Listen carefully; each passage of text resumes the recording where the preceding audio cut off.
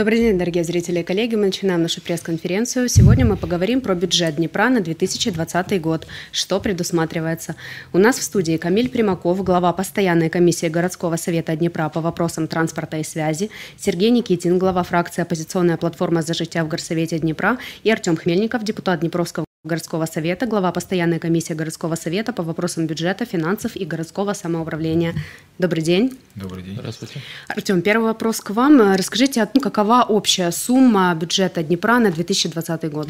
А, добрый день, уважаемые слушатели, зрители. А, на сегодняшний день мы планируем, плановая цифра бюджета на следующий год, 2020 год, у нас составляет 12,3 миллиарда гривен. А, эта цифра пока еще, я хочу отметить, предварительная, а, поскольку на сегодняшний день у нас э, идут э, дискуссии и с э, Верховной Радой, Кабинетом министров по поводу объемов финансирования и размеров трансферов с государственного бюджета, плюс ряд позиций, которые в городском бюджете а, у нас э, уменьшены, скажем так, э, за счет, э, допустим, акцизный сбор у нас вообще в том проекте бюджета на 2020 год государственного, который есть, акцизный сбор у нас вообще отсутствует как значительная составляющая городского бюджета. Каждый год это было примерно 400 миллионов гривен.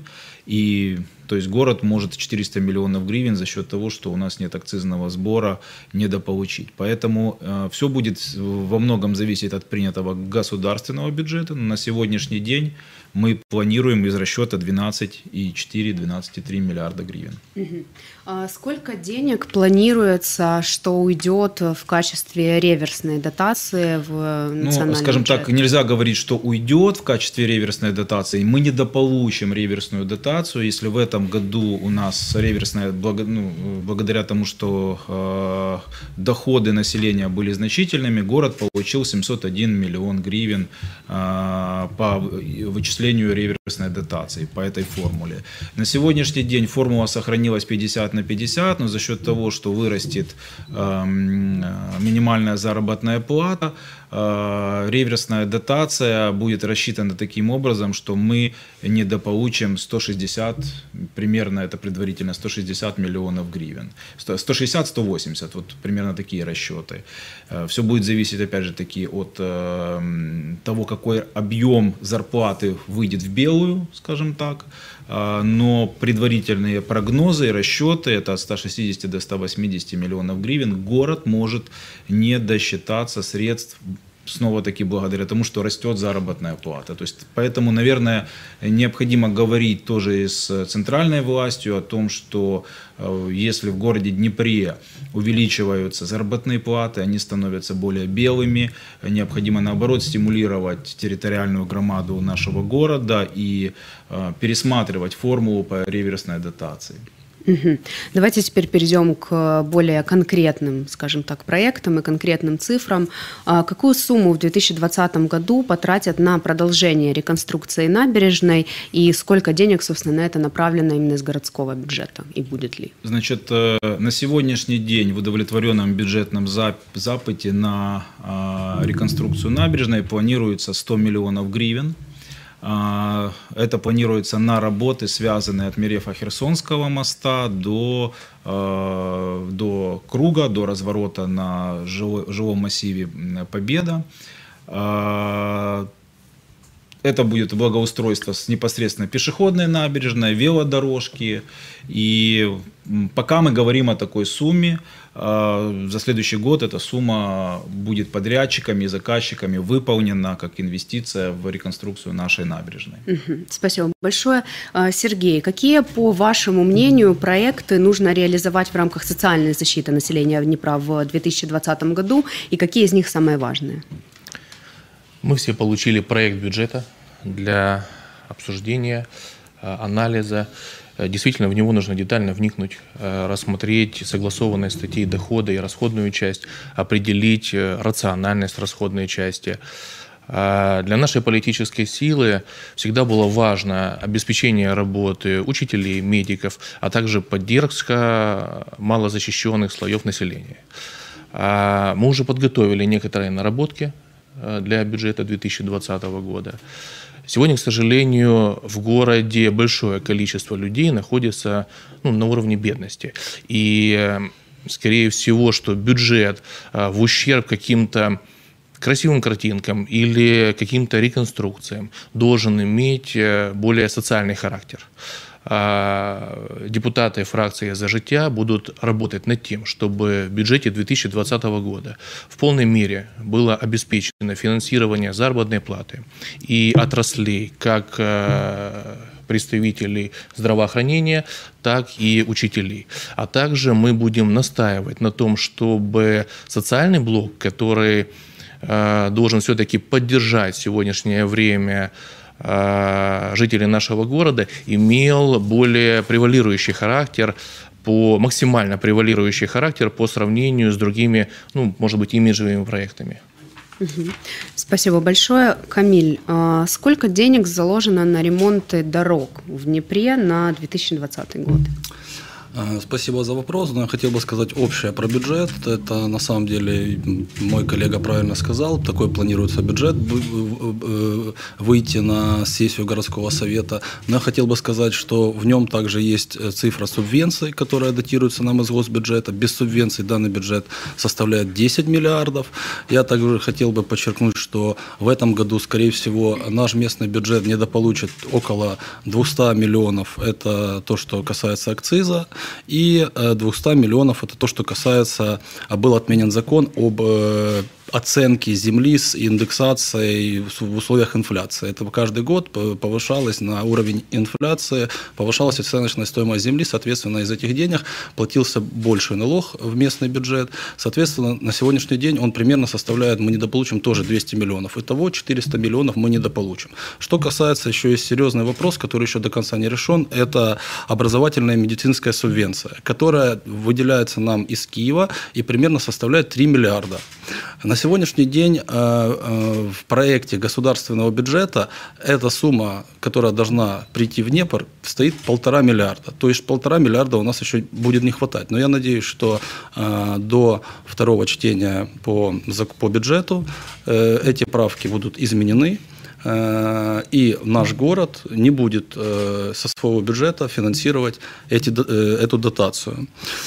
Что касается дорог. Дорог это благоустрий. На благоустрий в этом э, бюджете, в проекте данного бюджета выделено 138 миллионов, пока такая цифра есть. Но конкретно какое количество и на какие дороги она пойдет, это, безусловно, будет уже известно тогда, когда будут опубликованы титула. Соответственно, пока нет титулов, мы видим общую приблизительную сумму, которая должна быть там. Но куда она конкретно пойдет? На благоустройство, там, на фасады, на дороги, на какие-то внутриквартальные дороги. Мы этого еще не понимаем. И я думаю, что после следующих заседаний профильных депутатских комиссий, таких как там, э, комиссия ЖКХ, и когда мы увидим титула, тогда мы четко будем понимать, какая сумма будет выделена на дороге. А сколько денег в бюджете Днепра 2020 планируется выделить на развитие городской транспортной сети, есть ли там вообще такая статья расходов? Безусловно. Городская транспортная сеть, это э, если, например, мы рассмотрим вопрос э, касательно э, инспекции по парковкам, то у них сумма в данном бюджете составляет 26 миллионов. Что такое 26 миллионов? Это непосредственно та сумма на заработную плату сотрудникам, там около 75 работников, и там коммунальные, там энергоносители. Если э, речь стоит о закупке новых эвакуаторов, то это чуть другая статья, она финансируется через КП «Миськ автопарк», и приблизительная сумма, которая э, будет, э, планируется быть выделена в бюджете, в местном бюджете на 2020 год, составляет около 16,5 миллионов. Поэтому это предварительно такая сумма, которая, скорее всего, будет э, приниматься. Но я хотел бы также еще подтвердить, сказать, что это все цифры еще, с которыми работают профильные комиссии и профильные департаменты, и скорее всего, может быть такой вариант, что данные суммы будут корректироваться либо в большую, либо в меньшую сторону. Угу. Спасибо большое, Артем. Возвращаемся к вам. А сколько денег выделяется на реконструкцию парков в Днепре на 2020 год? Будет ли она вообще проводиться? И планируют ли проводить какие-то работы в парке Глобы? Значит, на сегодняшний день а, мы не планируем работ в парке Глобы. А, одна из основных причин это потому, что не подготовлены пока проекты по реконструкции парка Глобы. Возможно, будут выполняться отдельные текущие ремонты, но пока это в, в планах э, реконструкции масштабной нет. Город продолжает идти по пути, скажем так, парковой децентрализации, назовем это так. Мы строим небольшие локальные парки в разных регионах, в разных участках нашего города. И в следующем году планируется э, завершить строительство парка Писаржевского.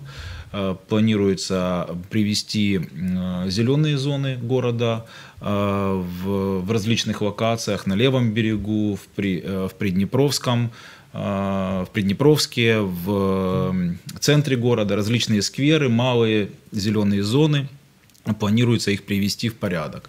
Сумма, которая на сегодняшний день выделяется, это сумма порядка там, 120 миллионов на сегодняшний день. Но, э, как сказал Камиль Юрьевич, на сегодняшний день все цифры не а, окончательные.